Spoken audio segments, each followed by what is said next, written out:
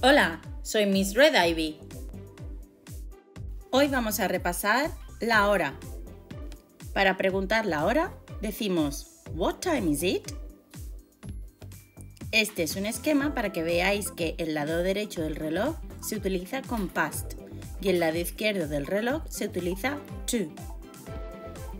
It's three o'clock. O'clock se utiliza para decir en punto. It's five past three. Cinco minutos pasados de las tres. It's ten past three. It's a quarter past three. It's twenty past three. It's twenty-five past three.